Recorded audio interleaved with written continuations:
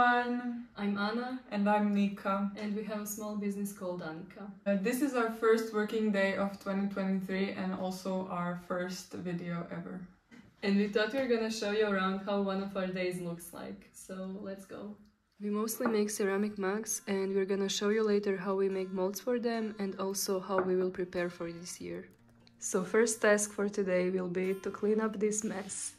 This was actually my mom's guest room, but we convinced her to turn it into our studio. But for the molds and other messy things, we use the other studio, which we're gonna show you later.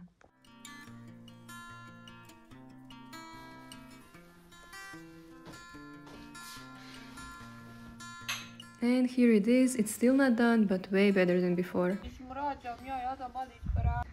And now we'll show you our second studio, where we make the messy stuff.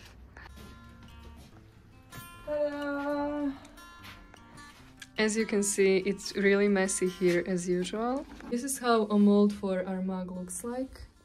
Um, we haven't used them for a while, so there's some electrolyte coming out of them, but we'll clean that up. And we're gonna show you how we make them. And I know this looks scary when you don't use your molds for a while, this happens, but it's actually pretty normal and it's just water coming out, so you just wipe it off and it should be fine. Uh, Before we started slip casting, we mostly did the pinching method, uh, but now we are kind of mixing both.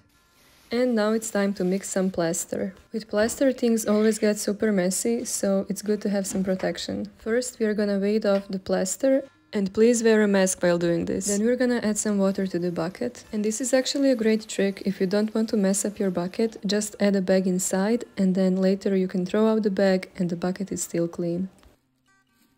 And this is how our silicone mother mold looks like. It actually took so much time to create and invent this. We did it in collaboration with one company that does 3D printing from Zagreb. And now let's pour some plaster finally.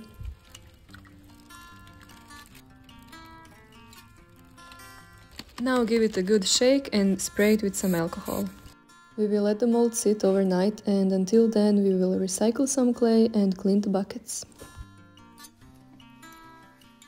And we don't actually have a sink or water in our studio, so we are doing this outside and it's freezing and the water is cold. And by the way, these are some ideas that we have for our new collection. It's gonna be really cute and sweet with lots of flowers and hearts. And by the way, if you're enjoying this video, you can subscribe to our channel for more content.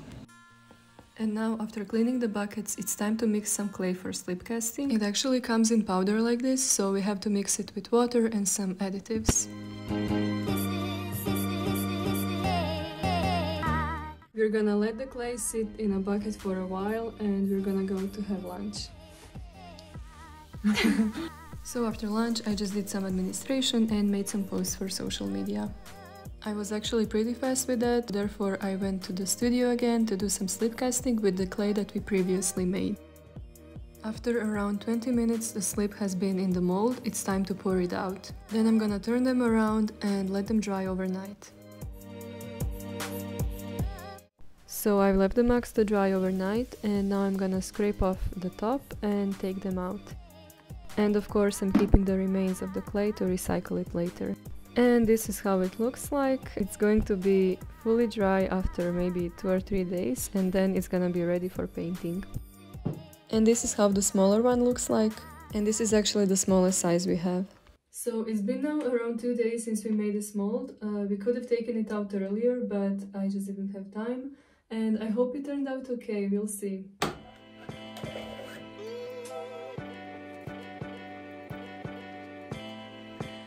Finally, the baby is born.